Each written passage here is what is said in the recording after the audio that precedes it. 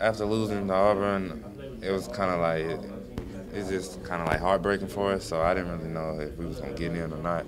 But uh, seeing our name was it's good. I didn't really care who we played or where we played. It was just the fact that we was one of the six some teams on that. Uh, they're a very scrappy team on defense. Uh, they got good offensive play. They got good guards and stuff like that. Uh, they create shots for each other, so they're a good basketball team.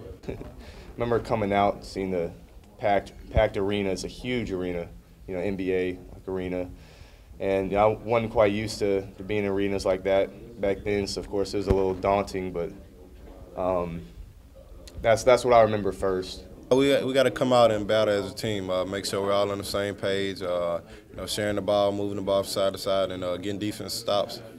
Uh, you know, we haven't watched much much from them, but um, we know that they're uh, they're probably a guard-oriented team. You know, um, that's kind of play like Vanderbilt. You know, outside in. But um, I feel we match up great with them. You know, um, I feel we could do a lot of things with them.